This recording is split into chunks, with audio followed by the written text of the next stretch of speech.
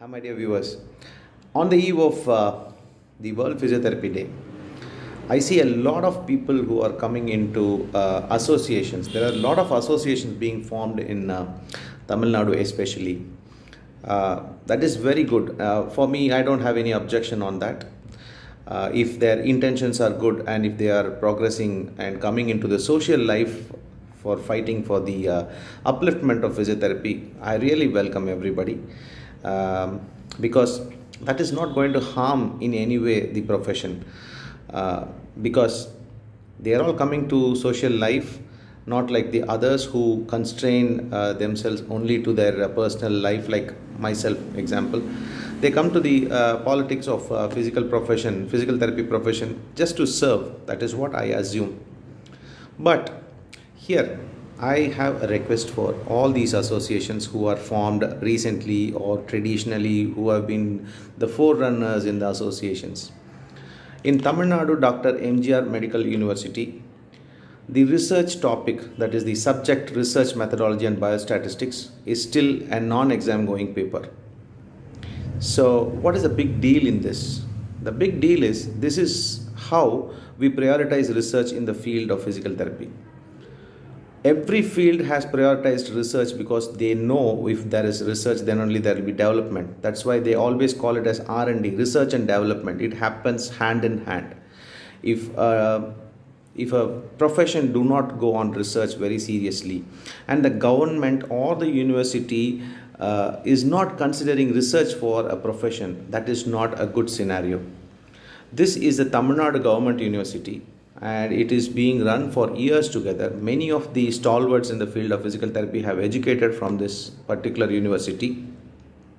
We do have representatives in the board of studies from physical therapy, but still, this research paper is not an exam going paper. And if that's not an exam going paper, you all know what sort of interest we show towards that particular subject. This is a real concern for everybody, at least for the forthcoming people but because we are not giving them the knowledge of research in a proper way but we are asking them to do research in the final year. That is absolutely um, not the right way it should happen. So without criticizing anybody without pulling down anybody's reputation i keep a, a sincere request to all these associations uh, to take this particular thing very seriously. And if possible conduct uh, uh, a rally uh, in front of uh, Dr. MGR Medical University to make them understand that research is very much needed for the field of physiotherapy and for the forthcoming budding students because they are the stakeholders for this. Without giving them the proper knowledge of research, this is not going to lead uh, suddenly into a transformation in the post graduation or in an uh, in the PhD uh, level so that they come up with a beautiful research. It is not going to happen at all. It should start from the grassroots level and they should uh, be accustomed and uh, uh, introduced to research, how to interpret research, at least in the undergraduation. Though they are not being trained for conducting research, they should be educated at least how to interpret research how to uh, know the basics of research and what is a quality research and how to find evidence for their practice. This is immense because after undergraduation they should do evidence based practice. When most of the private universities adopting research and uh, going way beyond the expectations were five five to ten years before we never expected these much these sort of uh, uh, reach will be there in research from the other universities. uh, but still our Tamil Nadu MGR Medical University is lacking behind and uh, uh, they are very poor and the syllabus is not yet updated still.